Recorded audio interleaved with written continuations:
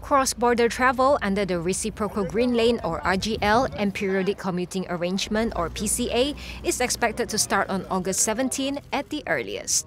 This comes after Foreign Minister Datuk Seri Hishammuddin Tun Hussein met with his Singapore counterpart Dr. Vivian Balakrishnan at the Causeway in Johor Bahru on Sunday. The two ministers had a constructive discussion on the RGL and PCA, which will facilitate cross border travel for official, business, and work purposes between Singapore and Malaysia.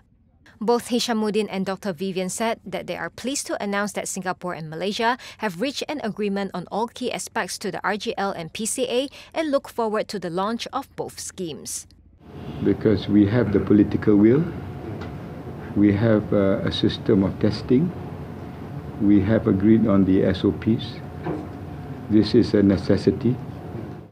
Hishammuddin said that applications can be submitted from August 10th, but reminded eligible travellers, especially Malaysians, to follow the standard operating procedures both governments had agreed upon. Kiranya apa yang kita lakukan di Singapura ini berjaya, ah, ini boleh digunakan sebagai template untuk green bubbles yang lain yang sedang diusahakan dan dibincangkan di peringkat Wisma Putra.